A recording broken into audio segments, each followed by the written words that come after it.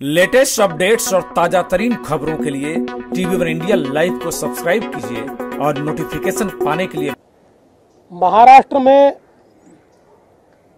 जिस प्रकार की घटनाएँ हो रही है, चाहे पैसे की उगाही की घटना हो या ट्रांसफर्स का रैकेट हो, ये सारी घटनाएँ दुखदाई है, आश्चर्यचकित और अचंभित करने वाली इस प्रकार की ये सारी घटनाएँ महाराष्ट्र में हो रही है। किंतु इसमें सबसे आश्चर्य की बात अगर कोई है तो वो है मुख्यमंत्री जी का मौन। इतनी सारी घटनाएँ होने के बावजूद महाराष्ट्र के मुख्यमंत्री जी ने उसके ऊपर एक बयान भी नहीं दिया। पवार साहब ने दो प्रेस ली, किंतु जो मंत्री है, उनको केवल बचाने का प्रयास पवार साहब ने किया। पवार साहब ने कहा कि मूल घटना की ओर देखिए, मूल घटना तो देखनी पड़ेगी, पर मूल घटना के आड़े आप भ्रष्टाचार को नहीं छिपा सकते। वो घटना जितनी महत्व की है, उतनी ये भी घटना महत्व की है आइए हम ज़रूर मानते हैं कि जो मूल घटना है, उसका तो पर्दाफाश होना ही चाहिए। और उसके साथ साथ उसको आड़ में लेकर आप ये जो हफ़्ता वसूली की घटना है, ट्रांसफर्स का रैकेट है, इसको आप रोक नहीं सकते। उसकी भी जाँच होनी चाहिए। और इस सरकार में कहीं पर भी नैतिकता नहीं दिखाई पड़ती, क्योंकि इतना बड़ा रैकेट बाहर आने के बाद जिन्होंने बाहर लाया, उन पर तो कार्रवाई की गई। लेकिन जिन्होंने रैकेट किया, उनके ऊपर कोई कार्रवाई नहीं है और कार्रवाई की बात भी नहीं है। उसके ऊपर हम कोई कार्रवाई करेंगे, इस प्रकार की चर्चा भी नहीं है।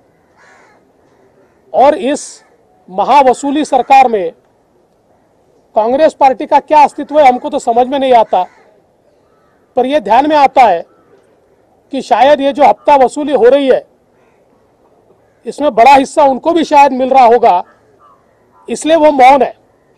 वो कुछ कह नहीं रही है। और इसलिए हम उनको भी पूछना चाहते हैं कि भाई आप भी बता दीजिए कि आपकी जितनी सत्ता में हिस्सेदारी, क्या उतनी हफ़्ते में हिस्सेदारी है? कुल मिलाकर इस सरकार ने पूरी तरीके से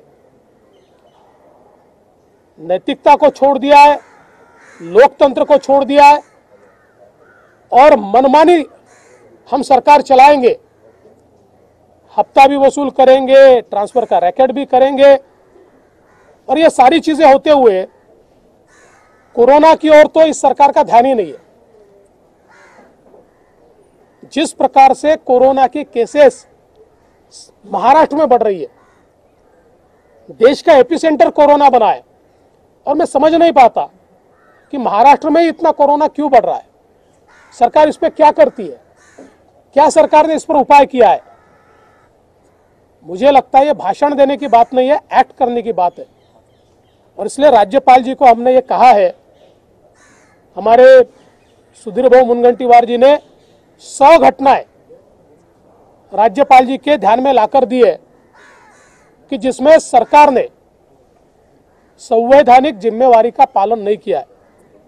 और राज्यपाल जी से हमने इतनी ही मांग की है कि चूँकि मुख्यमंत्री भी बोलते नहीं है, सरकार भी ठीक चल नहीं रही है, ऐसे समय कम से कम मुख्यमंत्री जी को आप इसके ऊपर रिपोर्ट मांगिए, राज्यपाल जी को अधिकार है कि आपने हफ़्ता वसूली पर क्या एक्शन लिया, आपने ट्रांसफ़र रैकेट पर क्या एक्शन लिया, कोरोना के ऊपर आपने क्या एक्शन लिया, ये सारा रिपोर्ट ये मांगा जाए इस प्रकार का निवेदन हमने माननीय रा, राज्यपाल जी को दिया है कि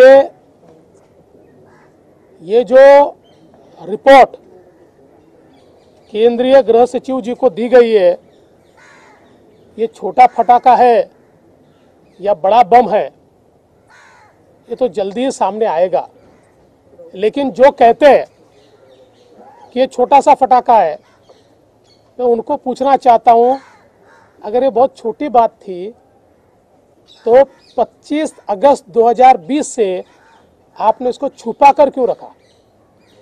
वो कौन लोग हैं जिनके ऊपर इसके माध्यम से सीधी उंगलियाँ उठती है? वो कौन लोग हैं जो कन्वर्सेशन में आते हैं? वो कौन लोग हैं जिन तक माल पहुँचता है? वो कौन लोग हैं जो इसका कोऑर्डिनेशन करते हैं ये सारी चीज़ें बाहर आएगी इसीलिए तो आपने इसको छुपा कर रखा। अब ये केंद्रीय गृह मंत्रालय तक पहुँचा है जल्दी ध्यान में आएगा इसके पीछे क्या है। संजय राउत जी के पास बहुत टाइम है और आप लोगों को खबर नहीं होती तो आप उनके तक पहुँच जाते हैं। और वो कोई इतने बड़े नेता तो नहीं है कि उनके हर सवाल का मैं जवाब दूँ। वो कोई इतने बड़े नेता नहीं है। राज्यपाल संवैधानिक प्रमुख है हम उन तक जाते देखो, ऐसा है ना, अगर हम चले जाए तो बीजेपी के नेता, और आप कमर से झुककर उनको जब प्रणाम करते तो किसके नेता होते देखिए, मुख्यमंत्री ये प्रमुख है, उन्होंने बातचीत करनी चाहिए, लेकिन वो जानते कि इस पर बात करना उनके लिए कठिन है। और अगर इस पर वो बात करेंगे तो कहीं ना कहीं जाँच करनी पड़ेगी, जाँच के आदेश देने पड़ेंगे। जो देना नहीं चाहते।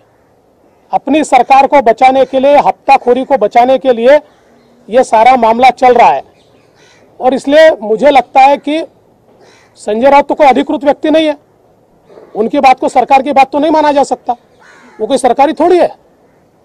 और इसलिए सरकार की ओर से कौन बोल रहा है? कि कोई अधिकारी अगर सच कहे तो बीजेपी का एजेंट और हफ़्ता वसूल करके दे तो क्या शिवसेना का एजेंट? चोर चोर मौसेरे भाई हे सगळे एकत्रित आहेत. हे फक्त बातम्या सोडतात की काँग्रेसच्या बैठकीत चिंता जाहीर केली. सगळ्या हप्ता वसुलीत सगळे सोबत आहे जो बूंद से गई वो हौद से नहीं आती. इस प्रकार की चीज़ें पहले करने की आवश्यकता थी. जब ये ध्यान में आ रहा था कि इतने बड़े पैमाने पर लोग हफ़्ता वसूली में लिप्त है उस समय करना चाहिए था। लेकिन मैं ऐसा मानता हूँ एडमिनिस्ट्रेटिव बाब है और इसलिए इसके ऊपर मुझे कोई कमेंट नहीं करना। मुझे ऐसा लगता है कि इसके बाद अगर सुधार हुआ तो हम इसका स्वागत करेंगे। कोई भी इस मामले में एफआईआर भी दर्ज हुआ तो मैं उसकी परवाह नहीं करता। मैंने महाराष्ट्र के हित के लिए ये काम किया है।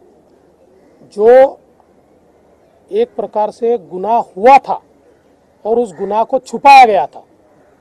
25 आठ को रिपोर्ट जाने के बाद कॉग्निजेबल ऑफेंस हुआ था और उस कॉग्निजेबल ऑफेंस को छुपाने का काम इस सरकार ने किया था।